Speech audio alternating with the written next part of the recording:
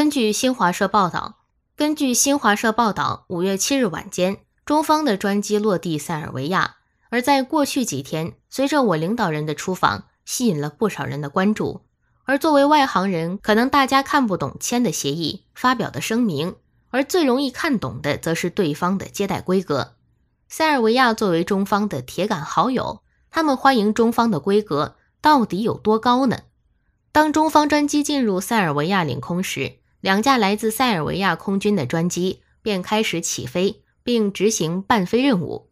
在一些战乱的国家，出于安全方面的需求，往往会派遣战斗机伴飞；但是在和平时期，军机伴飞则是一种外交上的礼遇。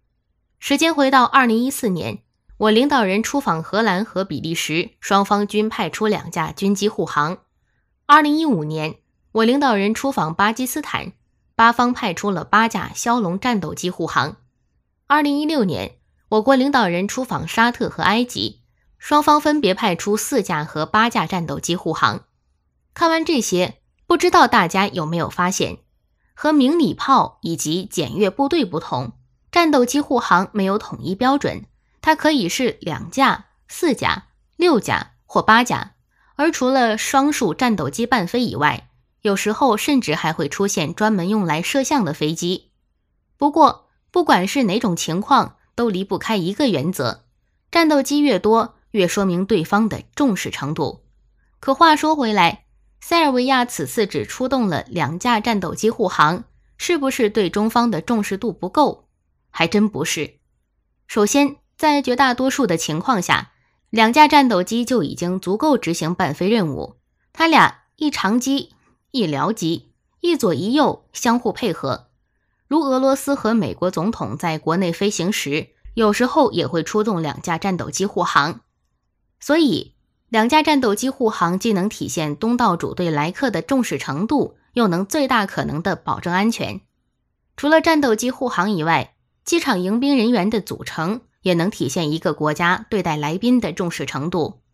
此次中方高层出访塞尔维亚，负责接机的有塞尔维亚总统夫妇和前总统夫妇，塞尔维亚外长、议长和总理等人堪称排面拉满。除此之外，塞方在机场还为中方举行了一场非常特别的迎宾仪式。红毯两侧除了有塞尔维亚的仪仗队之外，一旁还有塞尔维亚的儿童手持中塞两国的国旗，并为中方领导人献花。紧接着，一群穿着塞尔维亚特色民族服饰的民众就围成一个半圈，载歌载舞，以示对中方的欢迎。并且，机场还拉起了一条写有“热烈欢迎亲爱的中国朋友”的巨型横幅。从这些方面也足以看出，塞尔维亚这次在迎接中方上花费了不少心思。比起仪仗队的表演，具有当地民族风情的表演显然更具特色。正如武契奇所说，这次他们要让中方感到宾至如归。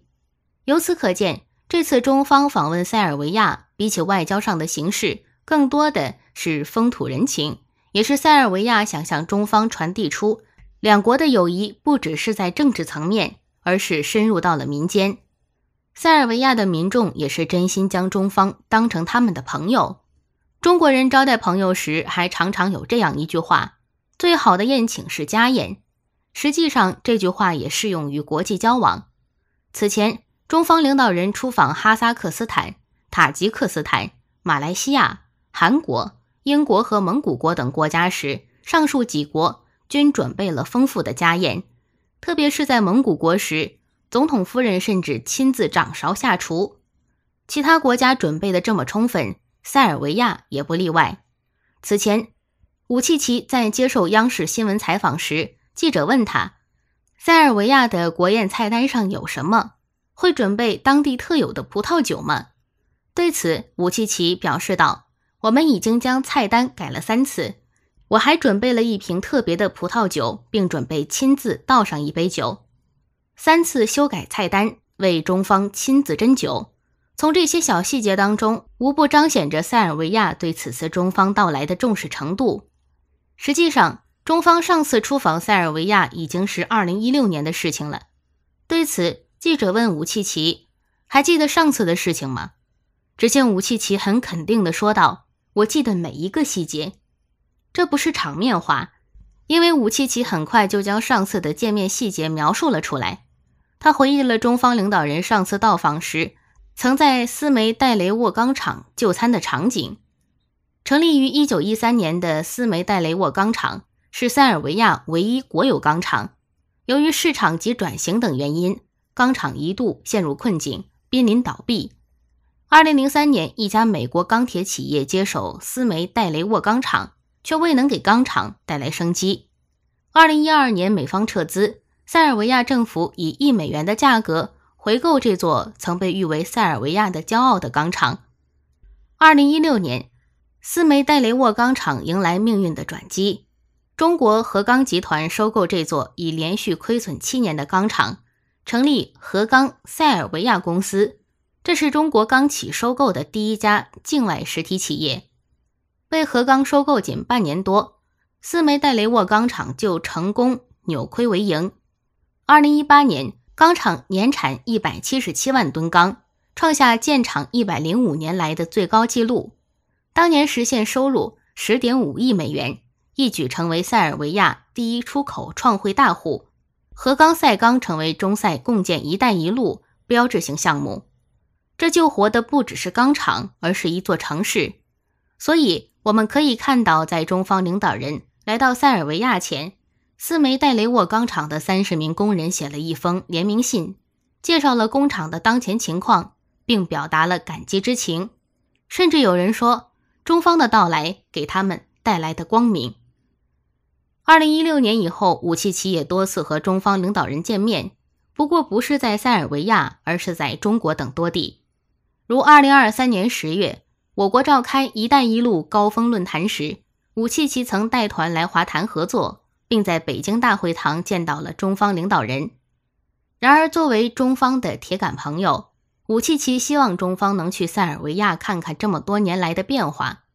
所以，从2016年到2024年，在这过去的八年间，武契奇先后十五次通过面邀、写信和打电话的方式邀请中方领导人访问塞尔维亚。可惜，由于种种原因，访问计划一直没有成型。八年。十五次，平均每年近两次邀请，足以见得武契奇的诚意。所以也难怪武契奇在接受央视新闻采访时会说：“面对中方的到来，我无法形容我有多高兴。”当然，希望中方到来的不只是武契奇，还有众多的塞尔维亚人民。